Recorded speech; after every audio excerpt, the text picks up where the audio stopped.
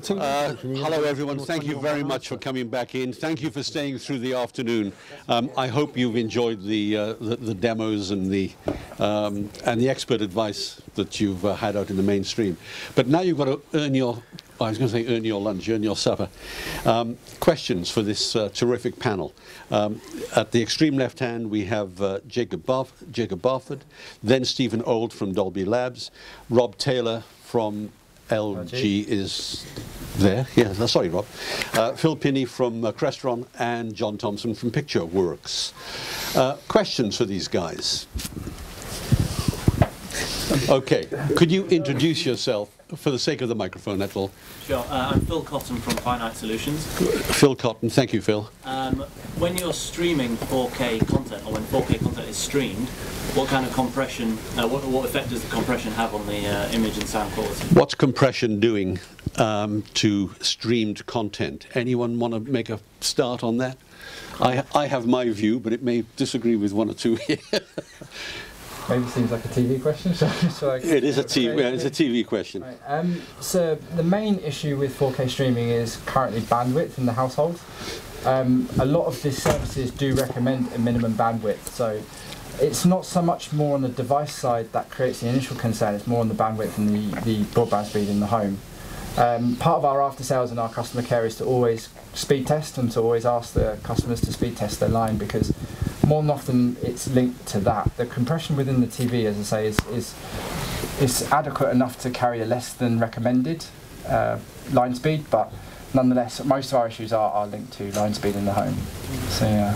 And what's the recommendation speed? Good, good question. Yeah, what would you say as a minimum? Network provider, I think Netflix 4K is something like 25.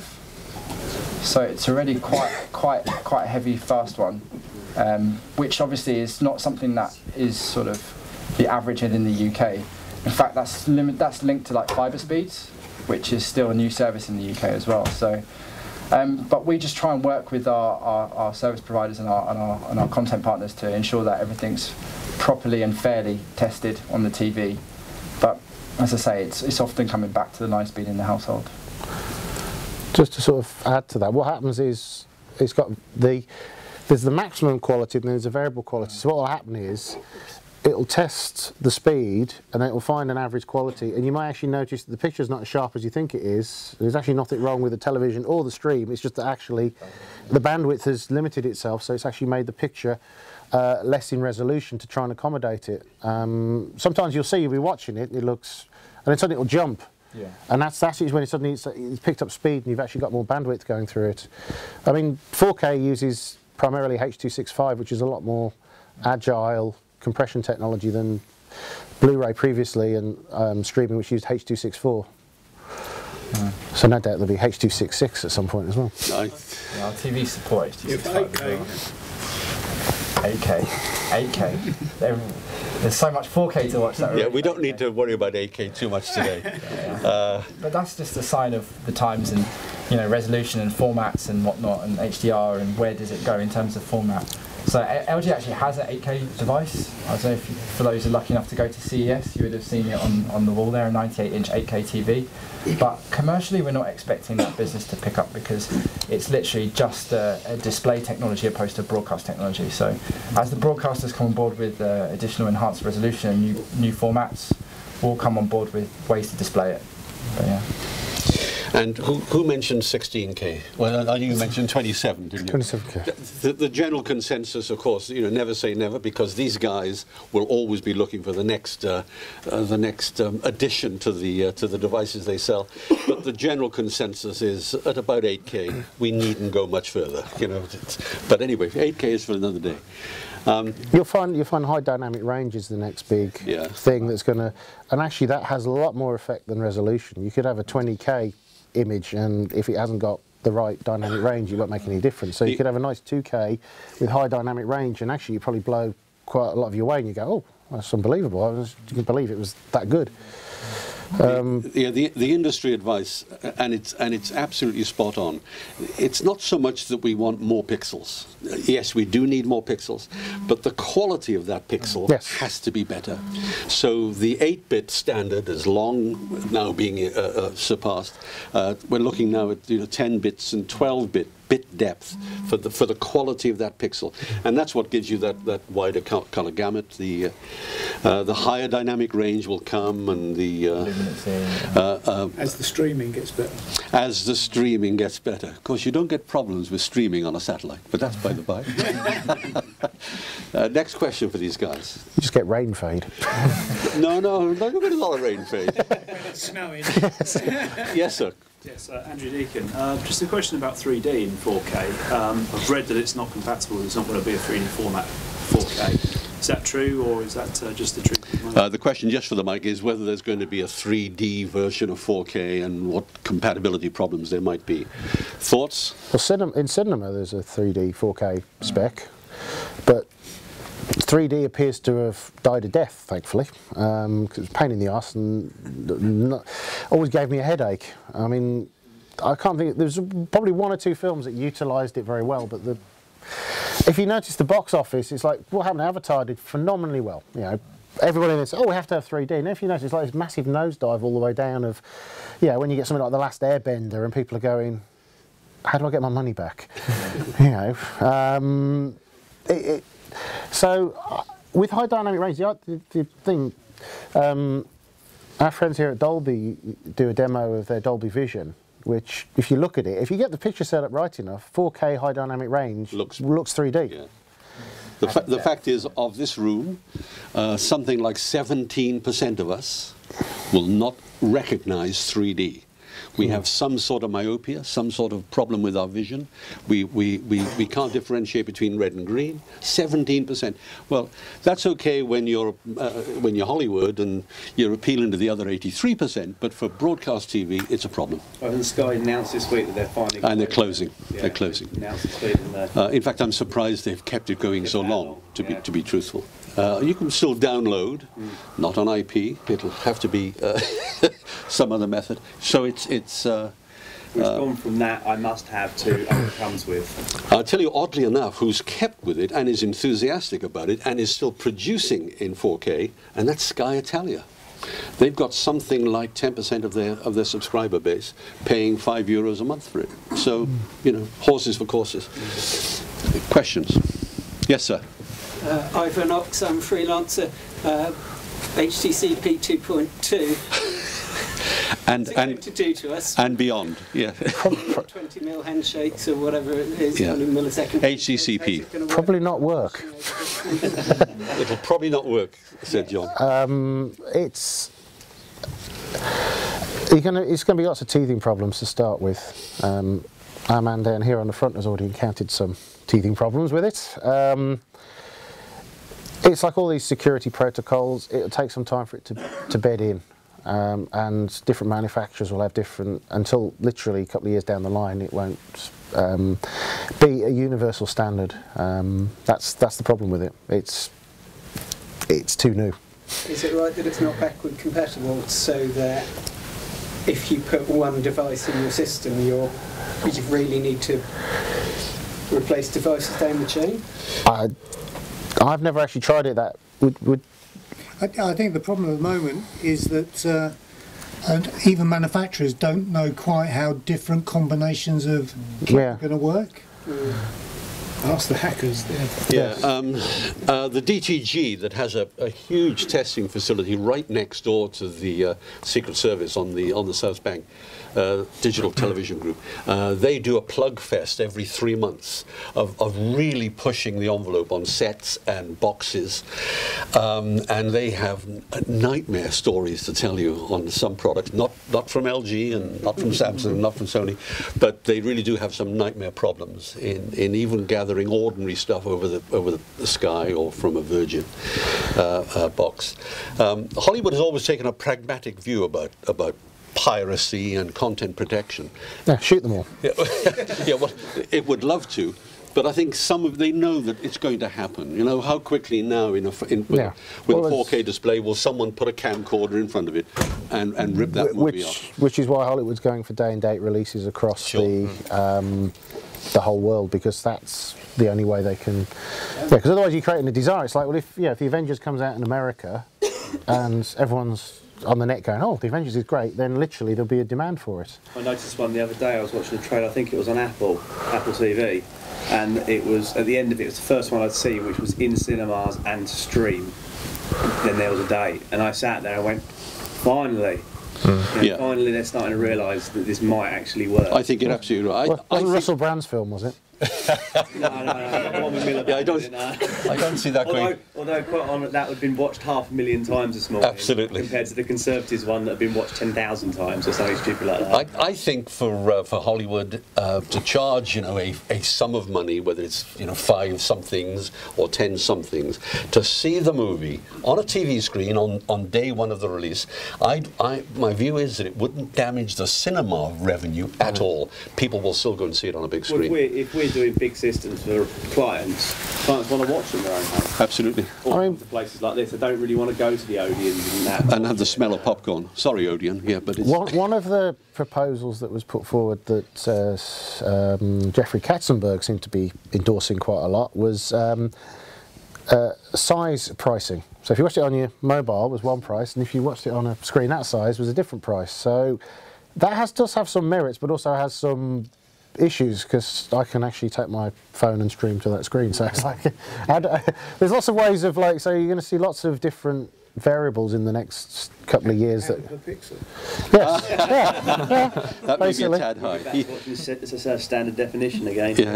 Uh, there was Yeah, a so- question over there yeah. somewhere. Yes, sir. Uh, Um, I think you might have been yourself mentioned about um, 4K transmissions by Intelsat. Has anybody? No, not Ins- Nobody put their hand up. So Uh, in- obviously- It wasn't so much Intelsat. Intelsat would make a 4K contribution of, of a sports event or the Olympics or something. They will. They, that's their speciality.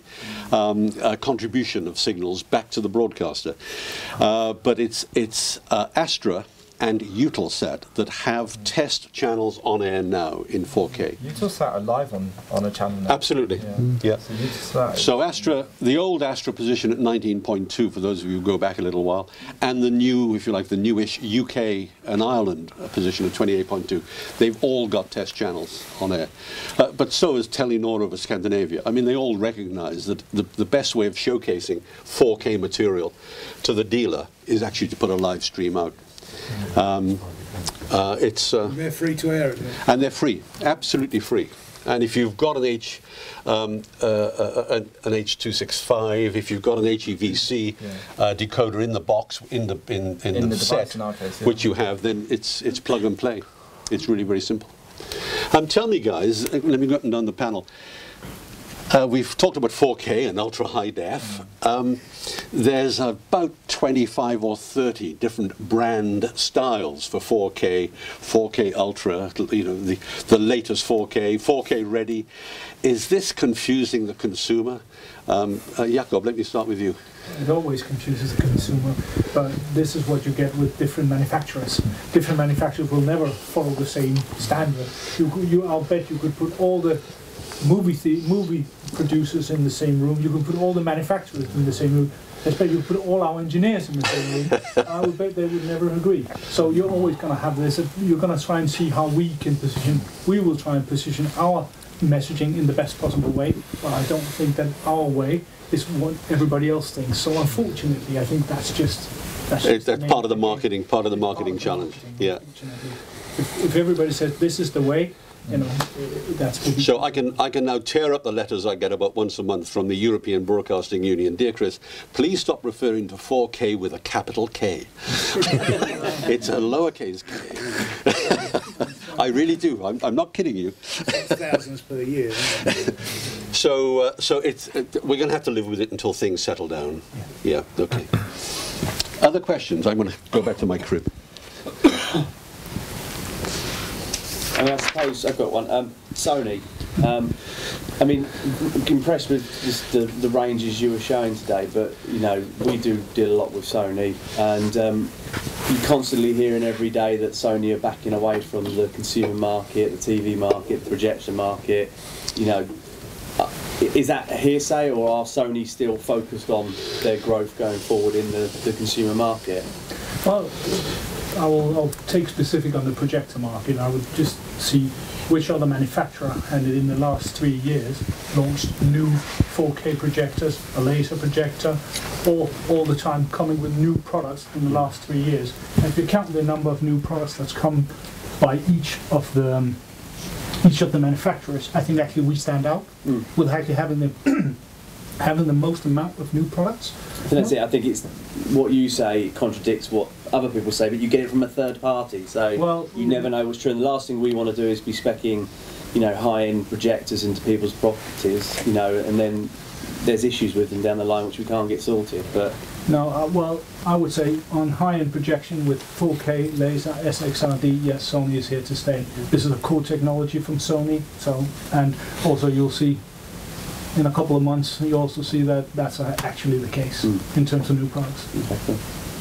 Um, question for Stephen from me, uh, and then we can expand it down up and down the line. Uh, we've heard a huge amount just a second ago: high dynamic range, wider color gamut, uh, improved frame rates, um, the wow factor.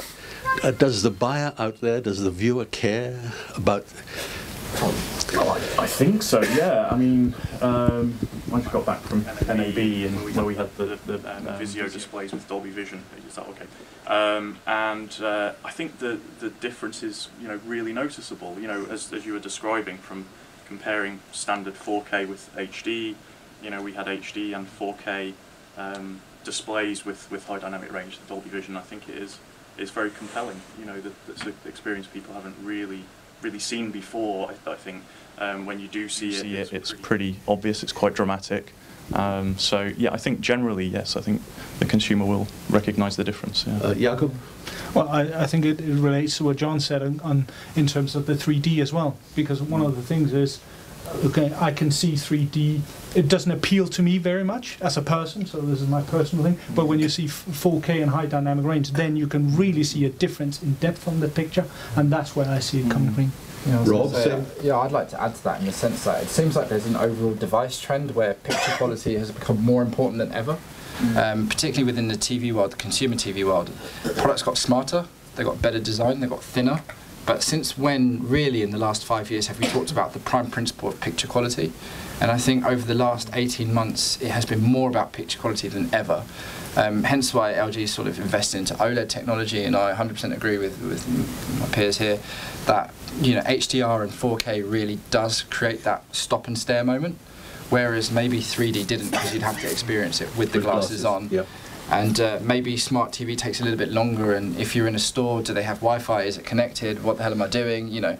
Whereas when you see in a store environment or in a person's home, stunning picture quality, great, uh, great wider color gamut, and better luminance through HDR, it really does actually create that wow moment. So now more than ever, because it's back to the picture quality, back to the basics. Excellent. Uh, excuse me, can I add something? Yeah, with pleasure. Um, I'm, I'm, I'm in a different position than you guys, I'm, I'm you know designing and installing these systems.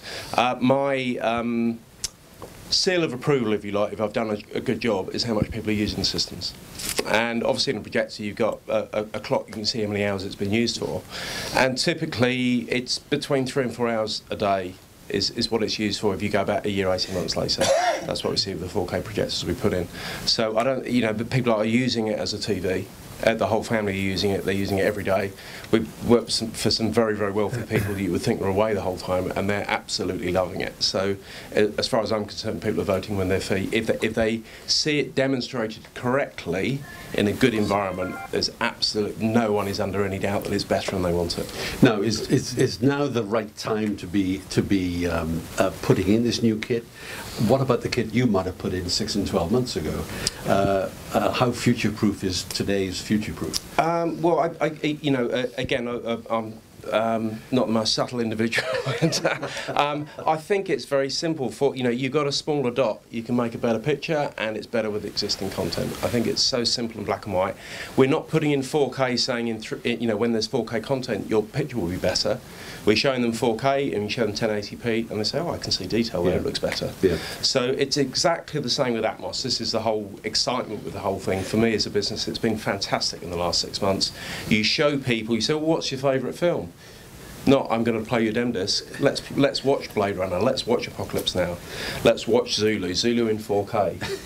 it's it's it's don't tell me you ever saw it that way at the cinema. Yeah. It looks better than it ever did at Yeah. the cinema. So you're going back and seeing. For me, that film's 50 years old. I was too young to see it at that time. It's, I've never seen it look that good. Yeah. I'm sure no one ever has. And that's the thing. It makes but you see it and you cannot help but help get excited by the audio quality and the picture quality.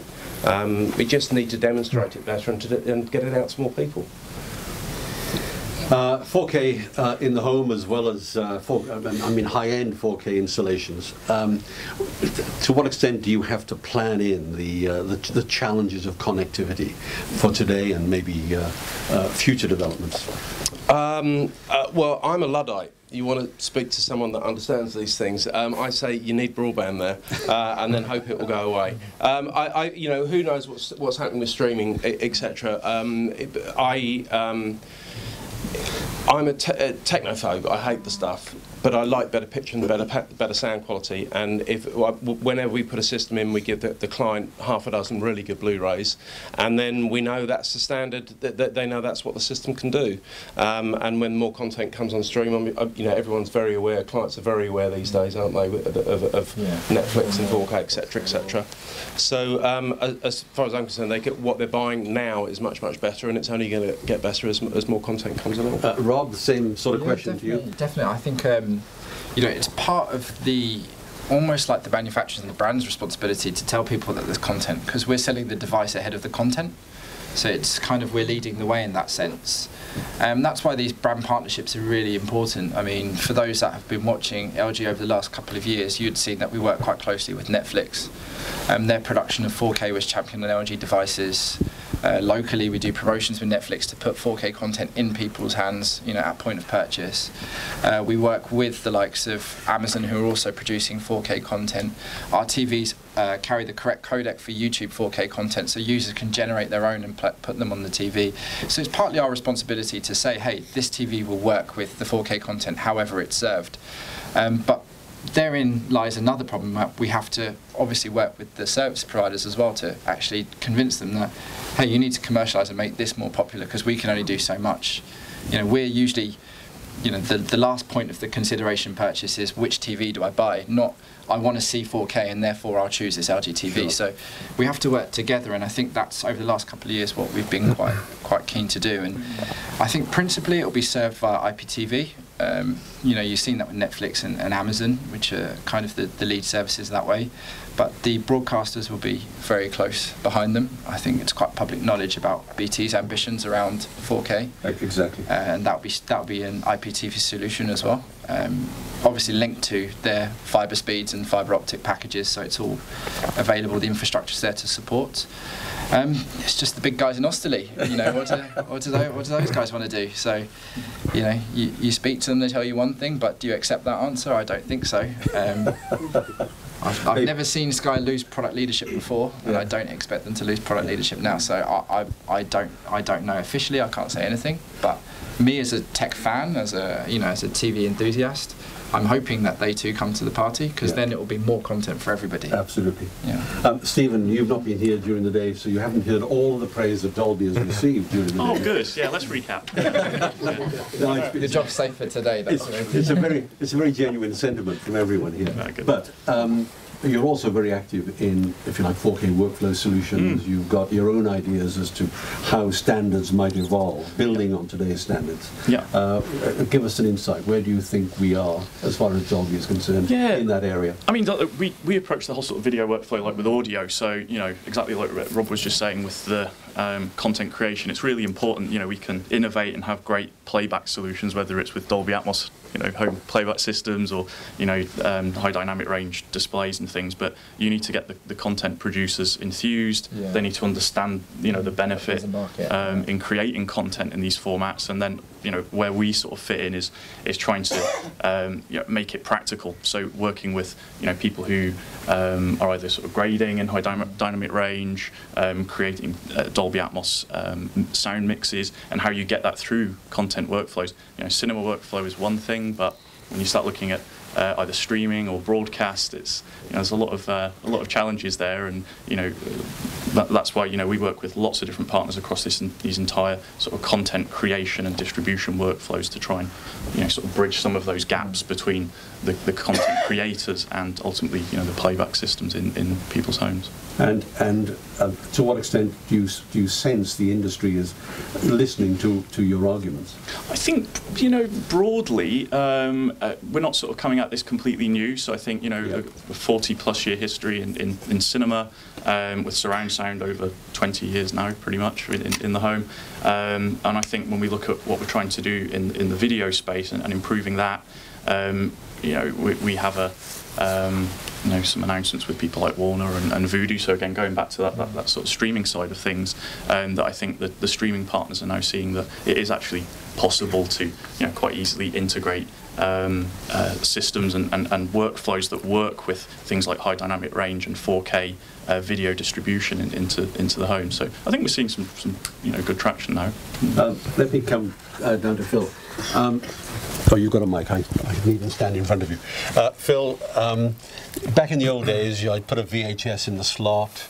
Um, and it would start playing instantly. Then, uh, of course, DVD came along, and it took I don't know, uh, 10 or 20 or 30 seconds to start playing. And then I'd put a Blu-ray in now more recently, and I tend to go and have a shower then while it's uh, while it's. That's just the adverts. That's also true. I could do without those.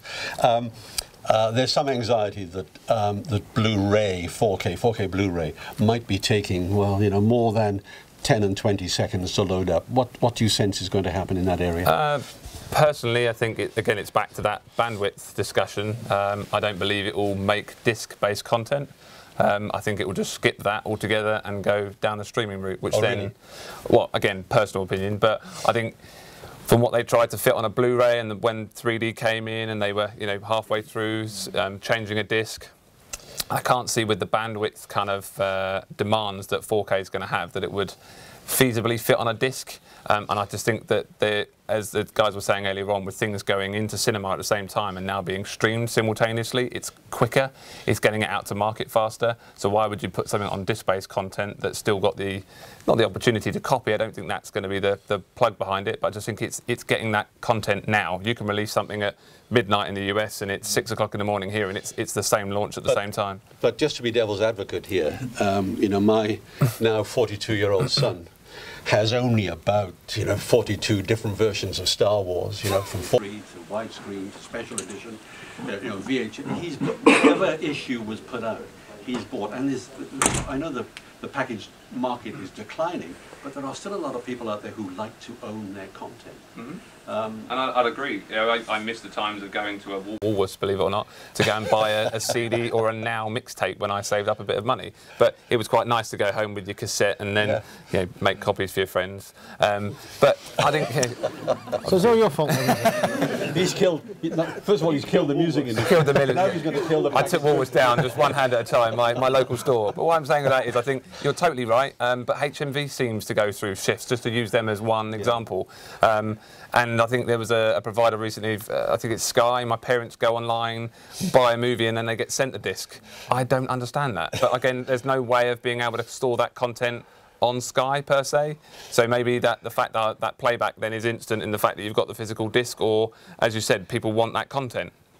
If you're buying that limited edition kind of Star Wars 15 seconds of extra cut unseen before, and it's the Wookiee in the woods, then maybe you want that on disc. Kept, kept Hollywood alive. Kept long, Hollywood long alive. time. it's also it's also interesting because broadband speeds. You know, I deal with clients who live who've got houses in the middle of nowhere. You know, and they're getting less than one meg broadband speed, but they can't even download HD, let alone 4K. Yeah. So we're Yeah. going to have to still have some sort of form of optical media. Um, I mean, if you look at the physical media business, it's actually stabilised. It was last month that HMV overtook Amazon as the largest supplier of physical media in the UK. Suddenly, HMV have gone back up again. up again. Yeah, I mean, it's quite clever. The one, the one on um, Oxford Street opens at 8 a.m. in the morning, so you can, you know. It's packed as well. Yeah, it's packed. Um, so, I mean, I don't think Blu-ray is going to go away. I think it's going to be, always be a market there for physical discs. And I mean, I'll make a prediction this time, you know, CES next year. I can guarantee you, Sony stand will have Spectre running on a HD Blu-ray. LG will probably have Mission Impossible 5 running, and then Star Wars Episode 7 will probably be on somebody. Yeah, all, and those will be the wow factors that will help 4K go into the next thing because it'd be like, oh, God, if you want to watch Star Wars Episode 7, you've got to see it in 4K. And that, yeah, if they've got any sense, they'll. If you notice now, DVDs that come out actually have no extra features on them. Blu-ray is the only ones with extra features on, so I'm sure something it'll migrate like that, and it'll be like, oh, if you want the the version, you have to get it on Ultra HD. I hope so. Um, just to add to that as well, if you take learnings from other industries, it's it's linked to ours, but not the same. Gaming industry. So that's a massive industry, bigger than Hollywood. Yeah. But at the same time now, only hero titles are released on disc.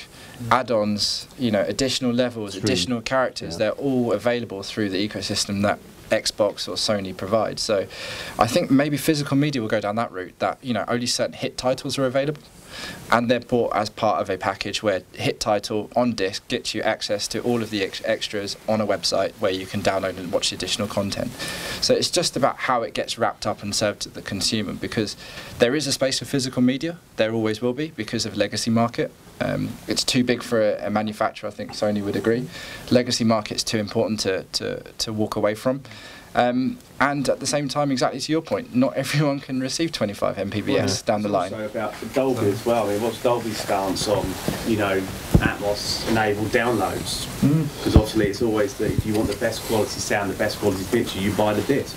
Yeah, yeah, and well, I mean, we um, so we have like the, the Dolby Atmos True HD solution on Blu-ray, but um, we also kind of uh, re-engineered Dolby Digital Plus for streaming. So it is more efficient, it's lower data rate, um, and uh, you know, so for us, it's about being able to deliver that that Dolby Atmos sort of immersive experience, regardless of whether you're going streaming or or Blu-ray. But it's a similar thing. Not everybody will have huge pipes of broadband going into their home, sure. but they can still get a good experience, you know. But you just need to sort of tailor a little bit how that's delivered. And and uh, let's not ignore. I mean, we, have tended to focus on on movies and uh, regular broadcasting, but don't ignore the, if you like, the niches, the very important niches: music, classical music, uh, uh ballet, opera. You're showing. Uh, that terrific thing from La Boheme yeah. uh, on your screen, which was shot My last. Choice, of course. Uh, exactly. Um, but it was it was shot uh, last summer uh, to celebrate the, um, uh, the Puccini. 100 years since his birth or death or whatever, um, and and a stunning production, which was done for RAI, uh, in Italy. Um, and it's and because of the quality of that, they've now commissioned three more operas this year. Mm. Now, what that means in terms of packaged media when when Blu-ray uh, 4K comes out, I have no idea. But but those niches, whether it's pop music or or, or obscure foreign films, people yeah. people are buying that content. I mean, in the other side of our business, the audio side of our business, we, we see that now with high definition, high res audio. Yeah. So actually, you know, streaming services are increasingly more popular. Spotify, Napster, Deezer, you know, all these types of great services. You know, nobody's really championing high resolution audio, um, mainly because devices can't play it back. Sure. Uh, but obviously, LG devices now and, and our multi-room solutions can. But obviously, you can't then communicate high res via Bluetooth, and then there's an issue there. So it's also an issue on the audio side as well about how do you create more content in high res, not only video but also audio, which is, I guess, what the guys here at Dolby are, are working on as well. When did, when did you and I go across to Dolby to hear Dolby's version? You, Many you, were still in the, yeah. you were still in the pram. yes, all those years ago. I, a year or two ago. I, I have a question for Steve. I, I just wonder. Um, what's next for Dolby Atmos? In a few months, we'll be one year into the consumer yeah. product, and I'm sure you must have more to yeah, tell. I mean, I think you know we, we have seen um, when was it released for the home about nine months ago, I guess. So you know, obviously, home theatre is a is a key thing for us, uh, and working on the Dolby Atmos enabled speakers, trying to make that a bit more of a mass market proposition. So you know, for people who maybe can't go whole hog with with the in-ceiling speakers, but um, you know, we, we did uh, announce, I think it was at Mobile World Congress, some partnerships as well on the mobile side. So, you know, there's huge kind of capabilities now becoming available on, on portable devices to improve, you know, both image and, and, and the, the sound, especially over headphones. Um, so with Lenovo and also Amazon, um, you know, I, I think we'll see, you know, a bit more uh, in that regard, you know, being able to improve and create a, a much more immersive kind of sound experience on, on portable devices as well as you know, in your home environment. Um, but, but can we mm. expect any broadcasters to adopt object-based audio? It's a good question. I mean, I, I don't think we could say today at this point broadcasters yes. Um, however, I think that you know when you look at the types of content that we're working on, certainly theatrical and Hollywood content is clear, and we have you know kind of three uh, plus year uh, history there. Um, but you know when we start looking at other types of content, alternative content, so things like episodic uh, content lends itself, you know, Sure. very well to, to things like immersive and three-dimensional Dolby Atmos type uh, sound, um, and also some of the things you were talking about as well. So for things like concerts and music. Um, so I think it, certainly that there's definitely scope, and, and you know those discussions uh, are happening, but um, you know we, we wouldn't be able to say at this point. Yeah, this, this broadcast is going to be, you know, pumping out Atmos. A certain broadcaster in, in, at uh, Austin who signed up. No. Quick question on audio formats Please, regarding go ahead. Dolby and uh, friends at DTS. Where do you think that audio format's going to go when the producers, when they, they put it out mainstream? Good question. Sorry, close your ears, Dolby. Yeah. yeah, I wouldn't be able answer that. um, yeah, I don't know. I mean, but for us, you know, we've we've been, you know, spending an, an awful lot of time and a lot of investment in the content creation side of things. So that that's been the key thing. You need to get people enabled and creating content, you know, in whatever, you know, some three-dimensional type immersive format. Um, and and I think, you know, our approach with that is working all the way from the creators, which yes, at this point is very much that that cinematic, theatrical content, um, and enabling a better experience in the cinema, um, and then how we transition that through um, other, you know, distribution pipes into the home. Uh, that's really our kind of value add is, is sort of bridging all of those gaps. You know, I think other other vendors uh, maybe don't have that same approach, uh, and I, I, you know, so I think from our side, I think we've we've had the right strategy there. Um, Where do you think it will go? Where do you think the producers will take it? Down the DTS route or? If you, well, you, you, you I presume you're saying because like ma- majority of Blu-rays have got DTS master audio discs on them. The, the reason being is because Dolby unfortunately dropped the ball with the SDK, which is why you see this proliferation of DTS master audio because they, they got it right from day one. Um, it's yeah, uh, it's going to be interesting to see what happens with the DTS version of it because there is no history of it in the cinema. I mean, you can actually transition. It, it, the clever thing is you can actually play back Atmos-based stuff. You can actually force it through the DTS uh, algorithm. Um, don't know what it sounds like, but you can actually force it through that. Um, which is one of their USPs, is that it'll take anything and play anything back. Um, I don't know. I mean, D- D- DT- DTS have a strange company. They've they've one minute they're doing one thing, one minute they're doing something else. Yeah, then they change their name to Datasat. Then they start producing, you know, uh, at least Dolby are consistent. You know what they're doing. Yeah, on, that same line, what happened to THX? You don't see that at all now, whereas that was THX, uh, what, what, what, right, THX was sold off to Creative Labs, uh, a proportion of it. George carried on holding some of the shares in it. It wasn't actually part of the deal with Disney when they bought into Lucasfilm. It was actually a separate entity. Um, it's still going. There are still THX installations. are still, uh, it, you know, there's still amplifiers coming out with THX on it. seem to see any soundtracks. Um, that's Version of the soundtrack. well, that, that you mean the taps? Were you talking about the tap service they used to do? They used to do a thing called Theatre Alignment Program, which was part of the THX. That, unless you know Spielberg, eh, very big directors used to buy any, obviously, because you have to pay THX X amount of money. And I think now, though, with digital cinema, it, there's a lot more ability to be able to line it up a lot easier. You, it's one of those things that cinemas now are doing a lot better than they were. I mean, back in the day, there was like three sound systems: there was SDDS, DTS, and Dolby. Now there's something like about 90 different proprietary formats in every single. You go to the Vue Cinema, they've got their version. You go to Odeon, they've got Odeon Digital Sound, and they're all doing this in the same way that THX did. So THX really sort of became slightly obsolete in that format. Good question, though. Uh, any other questions? Right, I'm going to go up and down the panel. And I'm going to ask you two questions. How many 4K channels will there be on air by, I was going to say December this year. Let's make it easy. December next year. Four. In the UK? In the UK, probably four. How many would you like to see? 44, yeah. Yeah, well, it's, it's like it's like how long did it take for HD? I mean, you know, it's only now you're seeing news channels in HD. You're seeing all the other, yeah, and it's taken them a long time to figure that one out and then move forward. You've got to change all the, yeah, you got different camera equipment. I mean, there's so much. Yeah, it's only now that people have moved, as somebody pointed out earlier, with the broadcast truck from standard def to HD. So people tend to sweat those assets for as long as they can. You know, is 4K horse racing going to be any better than HD horse racing? Because it's obviously just moved to HD. Probably not. And will the consumer, despite the you know the high-end installs that you guys are putting in, will the consumer actually find the HD signal or the 4K signal? Yeah. Will still be will the consumer still be looking at it in uh, in standard def?